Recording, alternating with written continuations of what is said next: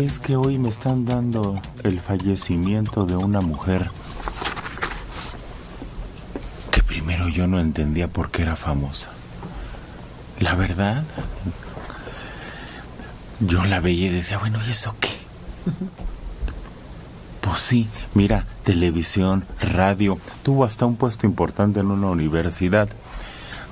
Y tú la oías hablar y decías, pues no habla. Y la veías y decías, pues no, tampoco atrae. Y bueno, ¿cuáles son sus cualidades? Y sin embargo, les apuesto que todos la conocen. Un día como hoy falleció Chepina Peralta. Ah, ah cómo no. Excelente. Y se volvió un símbolo. ¿Cómo no? ¿Pero por qué Etel? Pues yo quiero pensar que tenía todas las cualidades de las amas de casa, pero además en una en una época en la que pues no era pues muy común ver en la televisión a alguien tan relajada, tan tan auténtica, tan este sí, muy popular, pues era nuestra chef de cabecera en la radio y en la televisión. Pero no te... Era muy, muy simpática, muy agradable. No, no se creía absolutamente nada, era eh, sencillísima y un gran sentido del humor y, y cuando la entrevistaban no decía tonterías, era muy agradable. Y fíjense que ella tenía algo muy especial, que era que sus recetas eran sencillas y muy deliciosas. Bueno, lo delicioso tengo mis dudas porque por más que quieras imitar a alguien, eh, algo tiene la gente que cocina rico. No sé. ¿Sazón? No, es como un don. Yo no. Hay quien me dijo una vez que hay una explicación científica y que implica hasta el humor de la gente. Ah, el, el, humor, el, el, olor que producimos. Claro. Nuestro pH, vamos. Cuando te pones a cocinar de mala gana, las cosas o te quedan insípidas, o te quedan saladas, o te quedan con mucho picante, o te quedan con poco picante. No, el humor es importante en la, a la hora de cocinar. Tienes que hacerlo con entusiasmo. No, no, pero ese no es el humor del que estoy alegre o triste, no. El pH, nuestra acidez del cuerpo Mm. que eso influye. No, no creo. Yo creo que consiste más en el ánimo con el que estás cocinando. Mario. Sí, porque hay cosas como el, el sobrecocer o subcocinar las cosas, que es la clave y tiene que ver mucho con el humor. La prisa, el desgaire, la falta de paciencia hace que no salga tan bien la cosa. En cambio, quien tiene paciencia infinita con su guisado, le sale muy bien.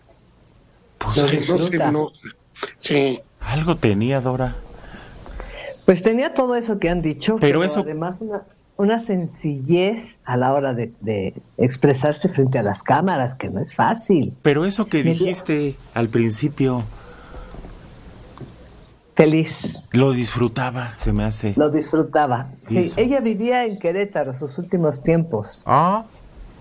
Ajá, allá fallece y su familia, que es cercana, pues seguido iba a verla. Tranquila, contenta, jamás perdió esa esencia, ¿sabes?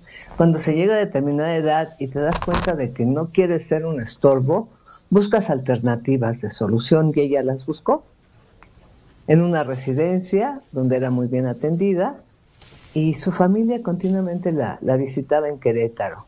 Una mujer sencilla, espontánea, carismática y lo que ustedes están mencionando. Adela dice, era su actitud, ¿no? Eh, contenta o enojada. Y tú dices, era el pH. Es que tu pH va a funcionar de acuerdo a tu actitud. ¿Ah? estás ácido y enojón, eres impaciente, eres poco asertivo, se te olvida un ingrediente y ya, ya la ventona y se lo comen, tienen hambre. Pero si tú tienes un estado alcalino, a gusto, disfrutas lo que haces, lo vas a proyectar. de alguna manera entras en contacto con los alimentos, con los ingredientes, y le pones tantito de esto y tantito del otro. No era una mujer ortodoxa que se apegaba a la receta rígidamente, no. A veces la simpatía y el carisma estaban tantito de esto y tantito del otro. Una, una, una pérdida realmente importante para la televisión y lo que dijo Ethel, que creo que ese es el punto clave. Era una ama de casa como Ethel, como Adela, como yo. No tenemos ese toque, desde luego, yo cuando menos no lo tengo, pero ella nació para eso, ¿sabes? Ella nació para eso y cayó redondita. Un medio que la, que la hizo muy popular, una forma de cocinar sencilla, porque sus recetas no quedaban igual como tú lo mencionas, pero funcionaban. Si eran reales, no era de, de grandes eh, ingredientes, ni tal cantidad, ni la basculita, no, no, no, hay tantito de esto. Y, ustedes pruébenlo, y que no sé qué, y agarraba la cucharita y, le daba el, toque. Qué pena, qué pena, pero creo que dejó una gran imagen, una gran enseñanza, y sobre todo para su familia, pues vaya un saludo y, un, un grato recuerdo de doña Chepina Peralta. ¿Recuerdan que estaba en el Club del Hogar? Una seccioncita. Y ahí el malvado de Madaleno le decía la cochina de Chepina. Ay, que no sé. ¿Cómo es posible decir? Pues su éxito fue en Inmevisión, ¿no? Fue donde más tiempo duró. 700 programas. Wow. Pues no sé cuánto será eso, pero en tiempo es mucho, Etel. Fíjate que yo tengo una experiencia, una anécdota con ella que me dejó muy marcada cuando, cuando esta servidora trabajaba en, en Diconsa.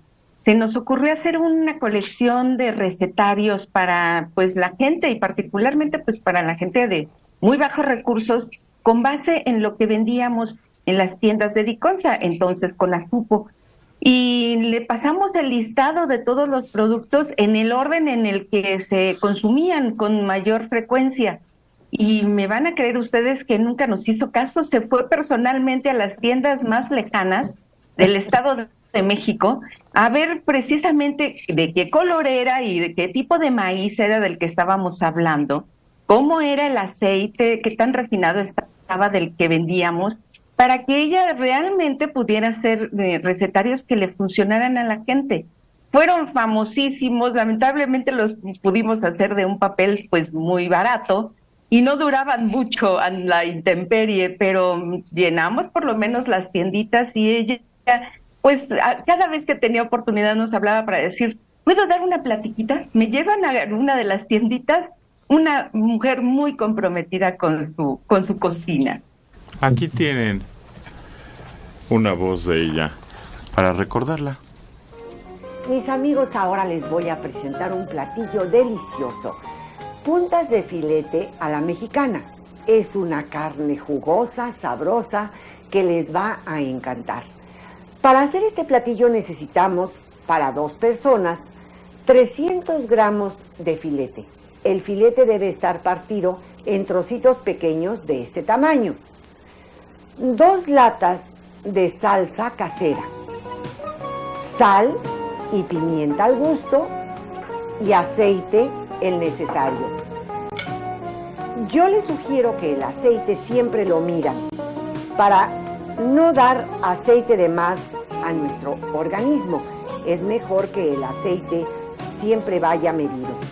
Y para este platillo ponemos tres cucharadas de aceite. Esto va en la lumbre a que se caliente. Ahora aquí ponemos los trocitos de carne. Estos se deben freír con ajo, con sal y con pimienta. También la sal es importante medirla para no tomar mucha sal media cucharadita de sal en toda la carne y un cuarto de cucharadita de pimienta también así. Ahí está. Dice que ella ni le gustaba cocinar. Ya se me antojó.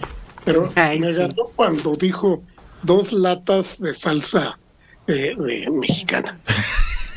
Y es que genial, porque eh, no te pones a hacer la No, no dijo mexicana, casera. casera, Casera. Pero latas es el punto. Sí, di- Latas, dijo sí. latas. Sí, pues sí, no, no, eh, eh, ayuda, no, no te dice, bueno, vaya usted, compre jitomates de este tamaño, píquelos así, hágale, póngales tal cosa, póngalos a, a freír y, y, y marine durante 10 días. No, pues, compre la lata y ábrala. María Leonor Landeros Ibarra. Yo la recuerdo en Radio Red con el señor Rafael Alfonso Cinta. Yo tenía un libro de cocina para niños escrito por ella. Pues sí, se volvió una figura muy popular en México. Cualquiera que entraba a la cocina le hacían la burla. ¿Te pareces a Chepina? Y Chepina y Chepina y se volvió una referencia. Todo mundo sabía, todo mundo la conocía. Fíjate que daba muchas opciones si iba a utilizar algún guisado, alguna receta con alguna hierba aromática. Decía, bueno, pero si tienen cilantro o si tienen apio, si tienen, no se compliquen, vamos a utilizar la que tengan ustedes a la mano. Y siempre recomendaba que la comida fuera a una flama media Sí. Para que nunca, si te distraías tantito, no se te fuera a quemar. Y la comida de esa manera, reposada, pues es como sabe rica, no arrebatada, como decían en mi pueblo, una flama arrebatada.